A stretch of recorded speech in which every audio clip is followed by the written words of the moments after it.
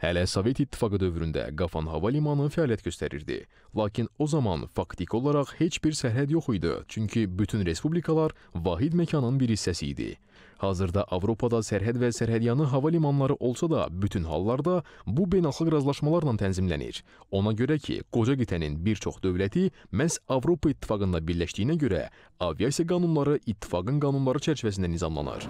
Fəqət Ermənistanın İrəvan-Qafan aviareyslərini artırması, ümumiyyətlə bu hava limanının aktiv fəaliyyətə keçirməsi beynəlxalq hüququn növbəti dəfə kobud şəkildə pozulmasıdır. Çünki Qafan hava limanı məhz Azərbaycanla sərhədyanı ərazidə yerləşir və rəsmi İrəvan bu məsələdə də rəsmi Bakı ilə müzakirələr aparmalı idi.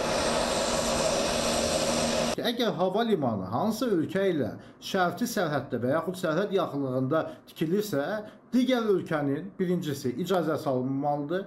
İkincisi isə burada əsas mərz ondan ibarətdir ki, həmin hava limanına Ermənistan təyyarələri necə iniş edəcəklər? Çünki əgər söhbət 200-300 metr məsafədən gedirsə, istər-istəməz həmin təyyarələr Azərbaycanla şərti sərhədi pozacaqlar. Zəngilan hava limanını inşa edərkən sərhəddən uzaq məsafə seçildi. Hətta marşruta təsir edə biləcək küləyin mümkün gücü də nəzərə alınaraq təyyarələrin Ermənistan ərazisinə keçməsi riskləri də hesablandı. Lakin Qafan hava limanı Azərbaycanın mövqelərinə o qədər yaxındır ki, hətta Azərbaycan ərazisindən aeroportun daxilində baş verən istənilən hadisəni rahat izləmək mümkündür. Bu isə eniş və uçuş zamanı təyyarələrin Azərbaycanın hava məkanını pozması ehtimalını xeyli artırır həm də Ermənistanın Qafan hava limanı ilə bağlı zəridən qabıqdan çıxması rəsmi İrəvanın mülki ad altında bu hava limanından hərbi məqsədlər üçün istifadə etməyə çalışacağına dair ciddi əsaslar var.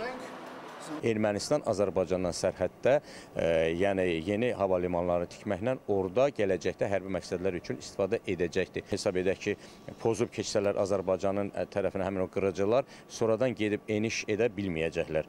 Çünki yenə deyirəm, Azərbaycanın hava müdafiə qoşunları birbaşa həmin o hava limanını nəzarətdə saxlayır. Azərbaycan qoşunları demək olar ki, tamamilə həmin o Qafandakı hava limanını və dəmir yol vağzalını birbaşa nəzarətdə saxlamaqdadır.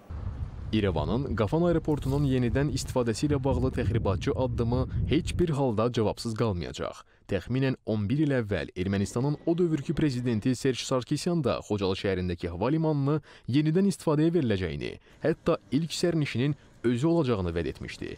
Lakin Azərbaycanın sərt xəbərdarlıqları nəticəsində Serjik geri addım atmalı olmuşdu. Həmin hava limanının istifadəsini qadağan edən də elə Azərbaycan oldu. Rəsmi Bakı bu dəfə də hava məkanının pozulmasına göz yummayacaq. Qafan hava limanı da muzey eksponatı kimi qalacaq. Rüstəm Mikayılzadə, David Nuraşvili, Rauf Məmmədov, ASTV xəbər.